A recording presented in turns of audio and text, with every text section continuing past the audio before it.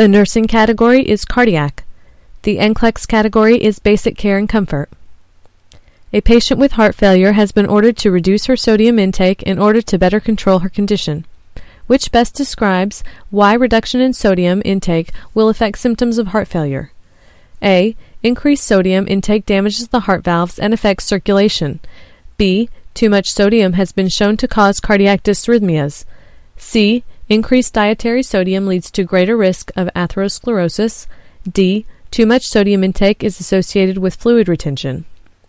Again, a patient with heart failure has been ordered to reduce her sodium intake in order to better control her condition, which best explains why reduction in sodium intake will affect symptoms of heart failure.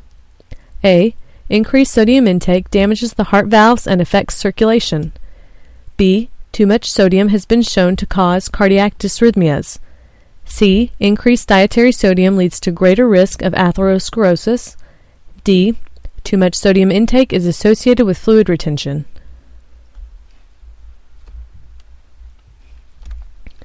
The correct answer is D.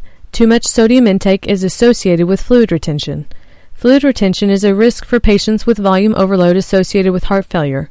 Most patients with heart failure are counseled to avoid excess sodium, and they often need to take medications to eliminate excess fluid from the body.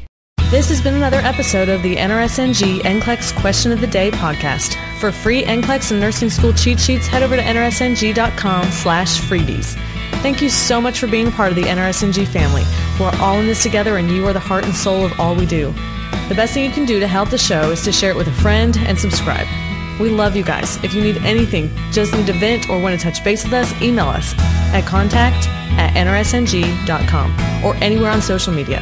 Again, head over to nrsng.com slash freebies. You guys know what time it is. It's time to go out and be your best self today. Happy nursing, y'all.